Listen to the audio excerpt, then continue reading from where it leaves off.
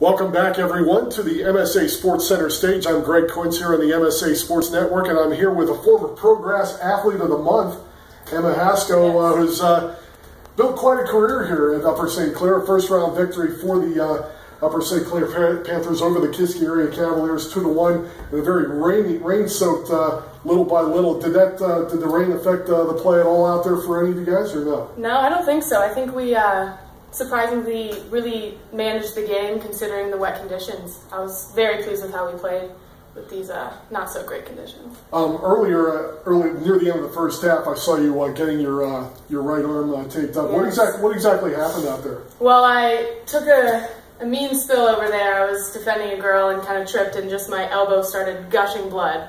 And mm. you know, I always have to keep it away because they're all strict with the jersey rules. So kind of ran out here, tried to get it wrapped up, but it wouldn't stop. So unfortunately, it took me out of the game. But nothing too bad. Talk about the goal you scored. Maddie Rock set you up very, very well. Absolutely, yeah. We um, kind of emphasized all year taking the opportunity when we have it. So Maddie gave me the perfect ball. I had time to take a touch with my left foot, which isn't my dominant foot, but we kind of, kind of been really working on using both feet and being able to finish with both. So I just shot a lot of uh, low to the corner, and it went in. It was a beautiful, beautiful play by Maddie, and we really, really work well together, and those in the final third combinations have really been going our way. For the benefit of our audience, we'll talk a little bit later about your uh, your uh, post uh, soccer plans uh, and your post Upper St. Clair pl uh, plans, but you've developed quite a rapport with Maddie Rocks. Talk about the way you guys communicate out in that field. Yeah, I mean, I've been fortunate fortunate enough to have been playing with her for like ten years now. We, she's been the person I've been playing with for since youth soccer, so it's pretty special that us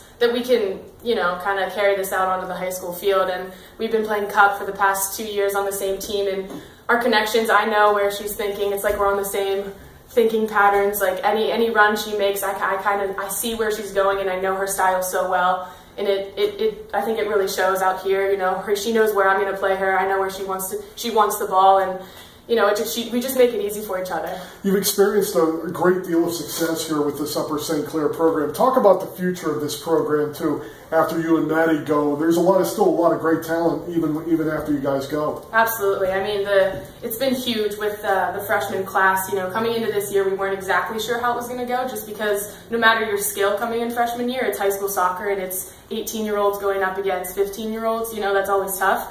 But um, I, it's been, I'm so pleased with how the freshmen are doing, and they're going to make the greatest impact in the next couple years. You know, we have Mia Snyder, a center back who plays like she's 18 years old. You know, she just gets after it, and Riley Ford and little Landy Mertz over here who plays like she's six feet tall.